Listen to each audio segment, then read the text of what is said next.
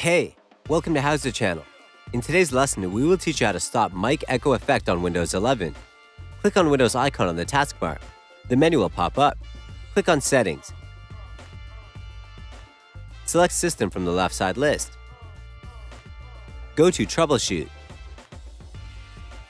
Click on Other Troubleshooters. Scroll down and look for Recording Audio. Click on Run.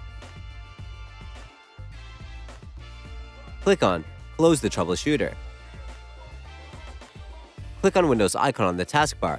The menu will pop up. Click on Settings. Select System from the left side list. Go to Sound. Scroll down to Advanced Settings. Click on More Sound Settings. A new window will open. Go to Recording tab. Click on Microphone. Click on Properties. A new window will open. Go to Listen tab.